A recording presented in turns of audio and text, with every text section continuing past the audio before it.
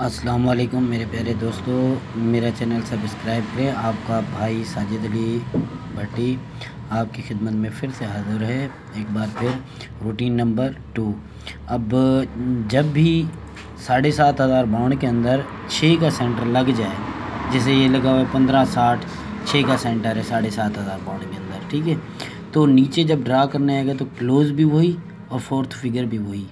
अच्छा ताज़ा एक दूसरे के ऊपर लग जाए ना तो फिर वहाँ प्ले नहीं होता, वहाँ नहीं करता है प्ले बाकी जब भी एक लगाओ तो फिर ये प्ले करता है।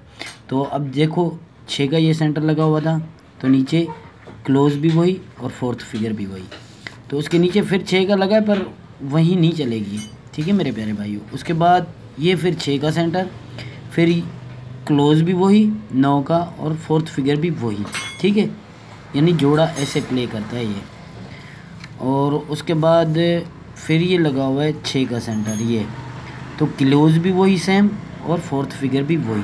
ठीक है मेरे प्यारे भाई उसके बाद फिर ये छः का सेंटर लगा है साढ़े सात हज़ार बाउंड में। फिर नीचे देखें क्लोज भी वही और फोर्थ भी फिगर वही।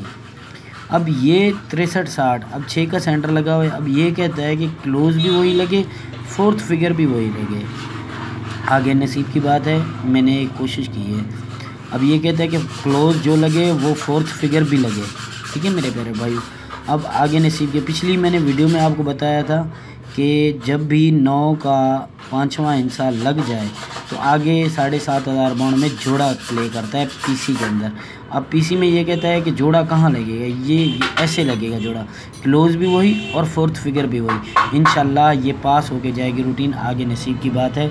दुआओं में याद रखना आपका भाई साजिद अली भट्टी। ओके अल्लाह हाफिज़।